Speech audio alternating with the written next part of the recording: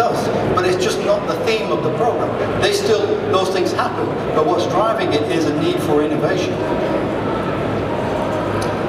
So when it comes to technology trends, four key areas we see in this. The Internet of Things. So we'll talk about that in a little bit more detail being as we're at an IoTX event. Ubiquitous connectivity.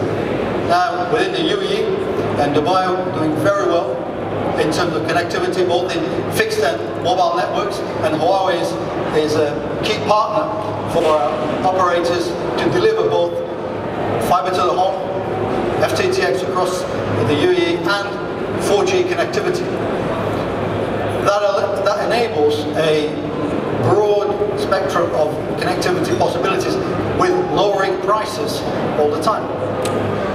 As an example, a personal example, uh, a year ago, roughly, I was paying about uh, 100 dirhams a month for 100 megabytes of data. Now I'm paying three to 400 dirhams a month for 10 gigabytes plus of data. I barely manage to use two, but what it really means is that I'm always connected. And I'm not looking for a Wi-Fi hotspot anymore. I don't need it. I can't use what I've got. But I'm now ready to be able to adopt all of the mobile services. So when we, when we develop applications, and when the government departments create some great applications, but if you can't access them, the adoption rate is going to be low. Part of that is the ubiquitous connectivity. Open data.